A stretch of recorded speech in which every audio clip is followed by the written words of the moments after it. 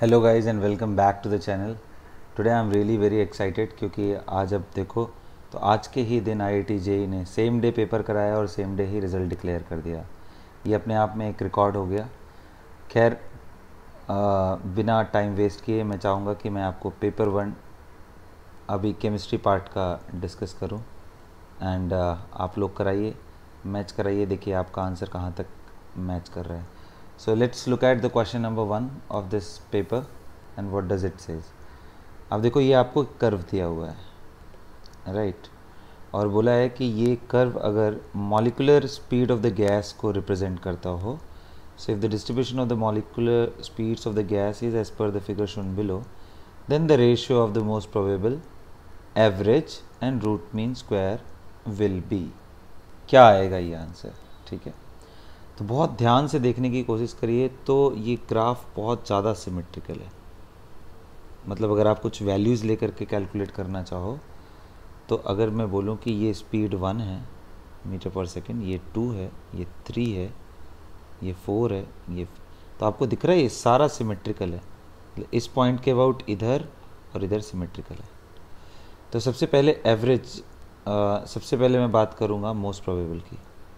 So what is most probable speed तो most probable speed अगर आपसे पूछा जाए तो कितने लोगों को समझ में आ रहा है? मोस्ट प्रोबेबल तो वो होता है सर, जिससे मैक्सिमम पार्टिकल्स जो स्पीड मैक्सिमम पार्टिकल्स के द्वारा पोजेस की जाए।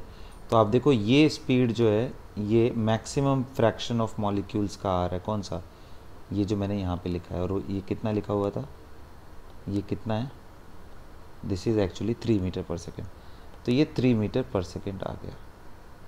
Right I mean to say it is three metre per second अगर मैं ग्राफ के हिसाब से चलूँ तो। ठीक? और अगर मैं एवरेज की बात करूँ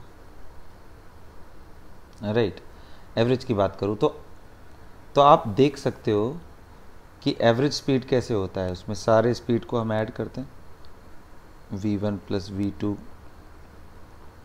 V four plus V five and whole divided by simple five तो आप देखो V3 कितना था? V3 मतलब V3 ही हमारा मोस्ट प्रोबेबल स्पीड था। और वो कितना था?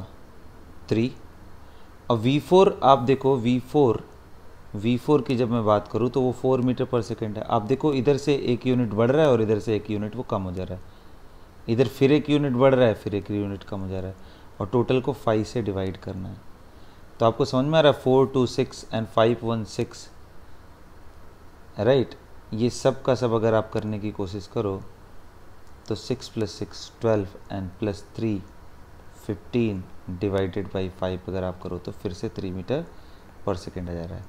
और या तो ऐसे भी आप सोच सकते थे कि आप जितना यूनिट राइट जा रहे हो, उतना ही लेफ़्ट जा रहे हो तो जब आप एवरेज निकालोगे, यानी वी जो सेंटर का है most probable plus V plus some X value and left में v minus X value and suppose करो थ्री पार्टिकल्स ही हैं तो डिवाइडेड बाई थ्री करोगे तो आप देखो तो three V divided by three आ जाएगा, जो कि सिंपली v आ रहा है। इसका मतलब most probable speed sorry most probable speed yes most probable speed और एवरेज दोनों इक्वल हो जाएँगे। अब यहीं पे अगर मैं बात करूँ, यहीं पे बात करूँ, किस चीज़ का? से फॉर एग्ज़ाम्पल अगर सेम टाइम पे मैं आपसे बात करूँ आर एम स्पीड कितना होगा? तो आर एम स्पीड का अगर एक्सप्रेशन आपको याद हो तो V R M S is equal to अगर मान लो फाइव पार्टिकल्स हैं उसके अंदर तो हम सबसे पहले क्या करते हैं? स्क्वायर करते हैं। उन सभी स्पीड का, उनका मीन निकालते हैं। फिर उसका रूट लेते हैं। तो स्क्वायर यानी कि V one square plus V two square right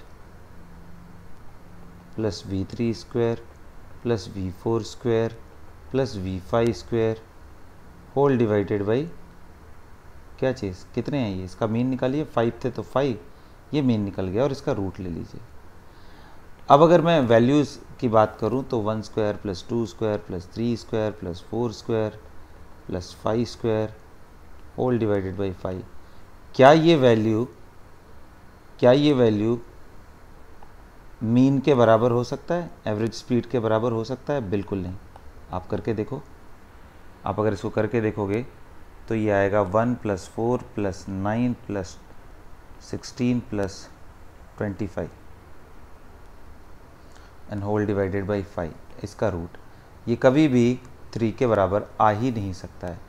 तो क्लियरली इससे अगर आपको थर्ड नहीं भी मालूम चलता है, आप एग्जैक्टली exactly कैलकुलेट भी नहीं कर पाते हो रूट मीन स्क्वायर स्पीड तो भी आप इतना तो कंफर्म बोल सकते हो कि एवरेज एंड मोस्ट प्रोबेबल तो इक्वल होगा दैट मीन्स उनका ratio one is to one आएगा and third will be different अब डिफरेंट में आप ऑप्शन चेकिंग पे अगर आप आ जाओ तो आपको एग्जैक्टली exactly एक ही ऑप्शन ऐसा है जो डायरेक्टली दिख जाएगा।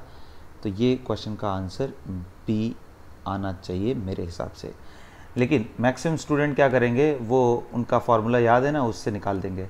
V R M S is equal to root over three R T by M V average is equal to root over two R T by eight R T by pi M अगर आप इस expression से निकालने की कोशिश करोगे तो ये गड़बड़ है, क्योंकि यहाँ पे ऐसा कोई डिस्क्रिप्शन नहीं दिया है। If the distribution of a gas as per the इसने साफ़ साफ़ लिखा है as per the figure shown below इसके हिसाब से निकालना है आपको।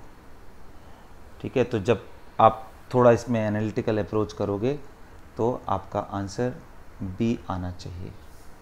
ठीक है? सो ये एक बहुत इंपॉर्टेंट क्वेश्चन था। पहला क्वेश्चन जो कि मैंने आपके साथ शेयर किया।